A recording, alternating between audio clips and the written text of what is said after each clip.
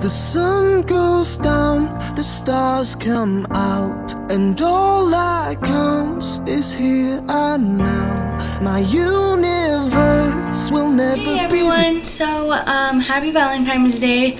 I'm going to be showing you what Zach got me and I'm in my um, kitchen because this is where the best light is right now. And sorry if you guys hear our laundry room, but yeah. Um, so this is what got me. He got me some roses and I'm using the um, the vase that has hearts that goes with the theme that's in the office um, just because this is the only vase we have. And then he also got me chocolate strawberries if you guys can see them. Um, and then he also got me a card. So this is what the card says if you guys want to know and then has a flower and then this is what this says. And then this is what Zach wrote.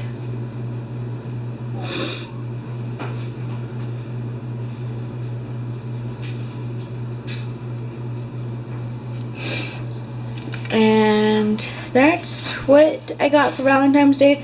Where's the chocolates also, babe? Sorry, this is a mess. The chocolates that we got.